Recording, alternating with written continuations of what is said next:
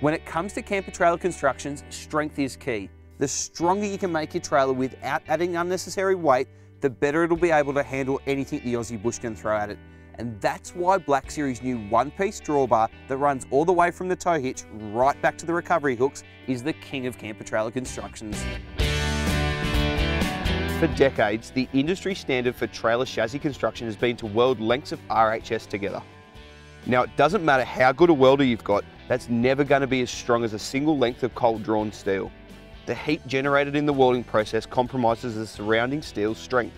There's just no way around it. That's not to say our welded chassis is weak, far from it. But in their relentless pursuit for the ultimate in strength, Black Series camper trailers went a step further. They spent a huge amount of time and resources developing a whole new process for trailer drawbar manufacturing that means the entire drawbar is shaped out of one continuous piece of steel. It's now also 4mm thick, up from the industry standard of 3mm, and while that might not seem a lot, in reality it's an exponential upgrade in terms of strength.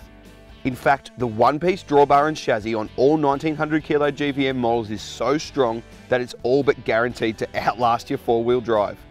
Don't compromise strength and don't spend more than you need to. Get the features and benefits of trailers double the price with the incredible new Black Series range of camper trailers.